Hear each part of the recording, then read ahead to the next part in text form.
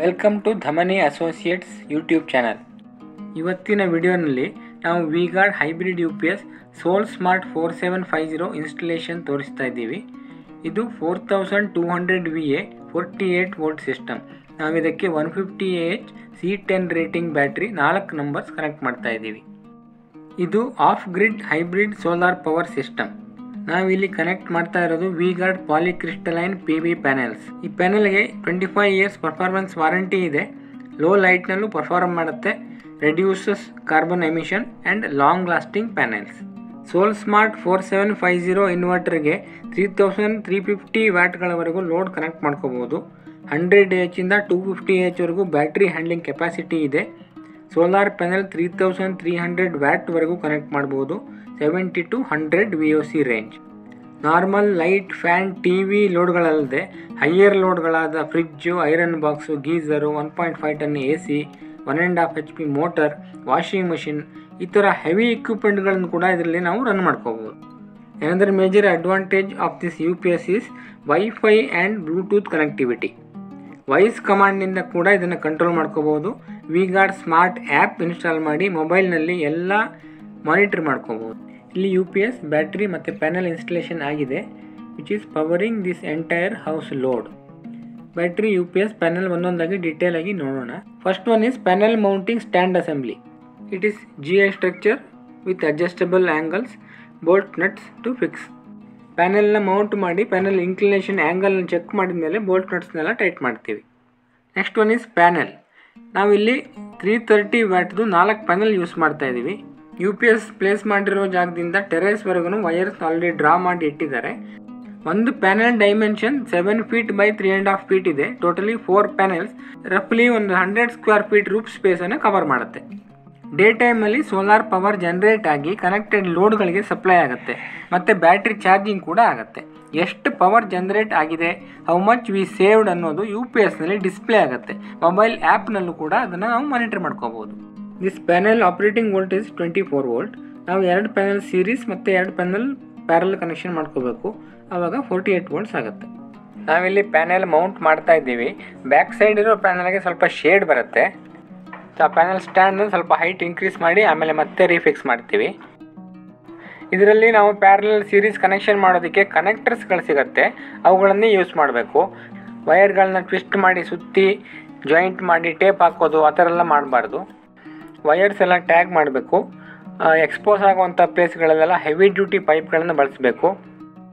ಇವಾಗ ಒಂದು ಪ್ಯಾನಲ್ನ open circuit voltage forty two volts ಬರ್ತಾ ಇದೆ. ಎರಡು ಪ್ಯಾನಲ್ಗಳನ್ನು ಸೀರೀಸ್ ಆಗಿ ಕನೆಕ್ಟ್ ಮಾಡಿದ ಮೇಲೆ ಏಯ್ಟಿ ಫೋರ್ ವೋಲ್ಟ್ಸ್ ಬರಬೇಕು.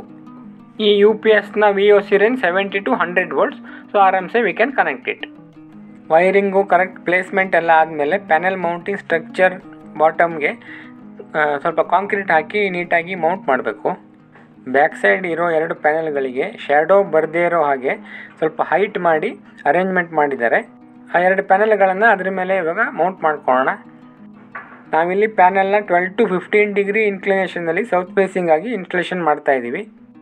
Installing panel at right angle direction and shadow free location and nearest to the inverter is very important. Solar power generate ಆಗೋದು D C voltage. ನಾವು ಜಾಸ್ತಿ ದೂರ ಡಿ ಸಿ ಕೇಬ್ಲಿಂಗನ್ನು ಮಾಡ್ಕೊಂಡೋದ್ರೆ ಪವರ್ ಲಾಸ್ ಆಗುತ್ತೆ. Comparatively A ಸಿನಲ್ಲಿ losses are less. ನಾವಿಲ್ಲಿ use ಮಾಡ್ತಾ ಇರೋದು polycrystalline panel. These panels convert solar radiation into electricity high transmittance and low iron tempered glass with anti reflective coating will catch and absorb light effectively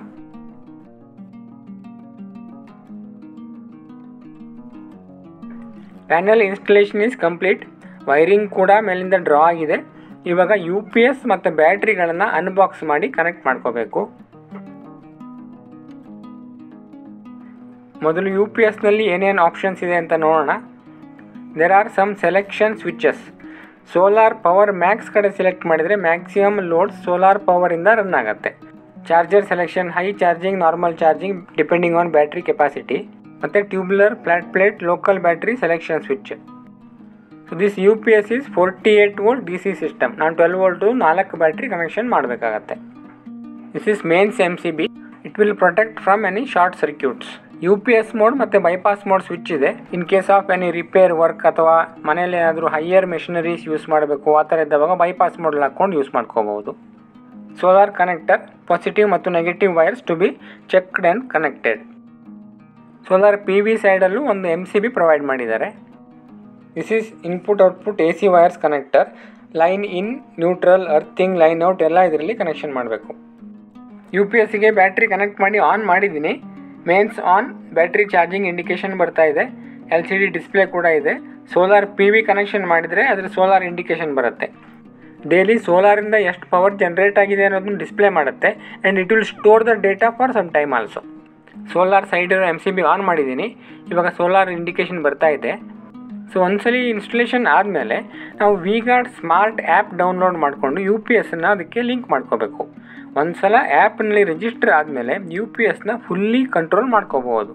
voltage increase ಮಾಡೋದು decrease ಮಾಡೋದು so that we can increase the fan speed U P S on off solar power generation ಎಷ್ಟಾಗಿದೆ charging selection ಮುಂತಾದ ಎಲ್ಲ ಕಂಟ್ರೋಲ್ಗಳ ಆಪ್ಷನ್ನು ಆ್ಯಪ್ನಲ್ಲಿ ಸಿಗುತ್ತೆ.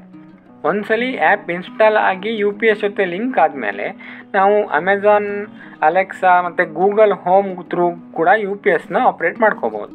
Battery water top up ಮಾಡೋದಕ್ಕೂ ಇದರಲ್ಲಿ ರಿಮೈಂಡರ್ ಇಂಡಿಕೇಶನ್ಗಳು ಬರುತ್ತೆ.